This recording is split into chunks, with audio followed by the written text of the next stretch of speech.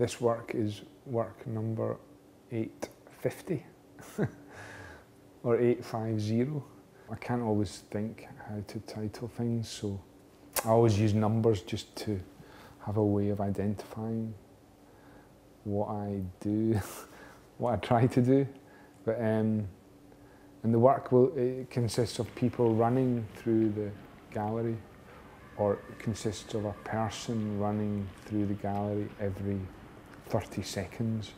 I was asked by the Tate to if I would could think that I might imagine making something for the Duveen galleries, and uh, and immediately this is what I thought of, and, and I thought that the Duveen galleries, being so long, were a good theatre for this work. Because uh, it's almost the length of, say, a sprinting, like an indoor sprinting uh, track. If I think about running and why it is that I like it, I, I think that it is perhaps because it's a, a, an, an exciting action. And I think it's also an example of being alive. If you think of death as being still, perfectly still, and uh, so the opposite of death would be, you know, to move as fast as you possibly can.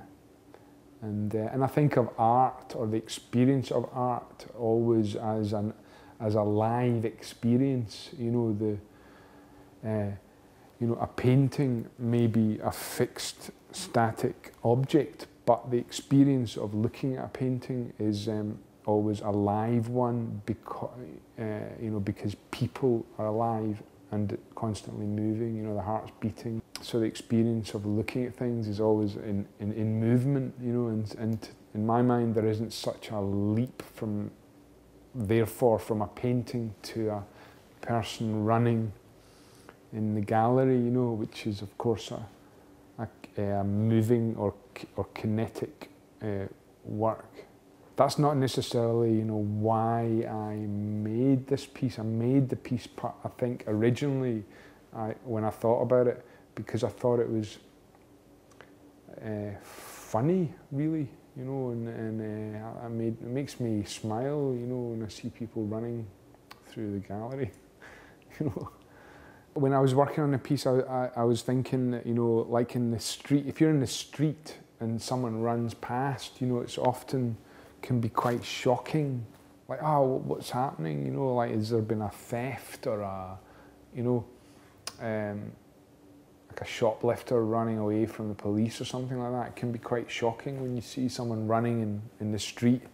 So I think running in general stands out. You know, uh, probably the one place it wouldn't stand out would be like an athletics meeting. you know, so that would probably be not the place to display the running piece. You know, you know, artists do not make art. Ar artists make things. You know, ob objects, whatever it may be, paintings, sculptures. They make stupid objects which get used as art, you know, by uh, by human beings. So you know, it, so someone should not, and I'm actually not the person to ask about whether this is art because it's not me that decides if something's art or not. You know the person asking that question can you know, decide for themselves or should, or should you know, question in general the, the fact that certain objects are used and treated as art by you know, the general world that we live in. You know, you know art's just a word, you know.